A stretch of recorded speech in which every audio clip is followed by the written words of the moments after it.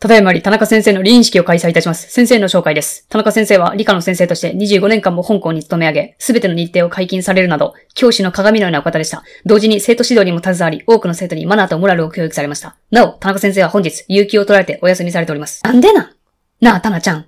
いや、普段は田中大先生だよ。でも、なんで最後の最後の理認式で有給取った？これ、あなたのためだけの回なんですけど。なお、田中先生よりメッセージを受けたまっておりますゆえ、私が代読いたします。皆様、本日は誠にありがとうございます。私が25年間貫いてきた信念は、マナーとモラルこそが人を作る、です。なんでなん？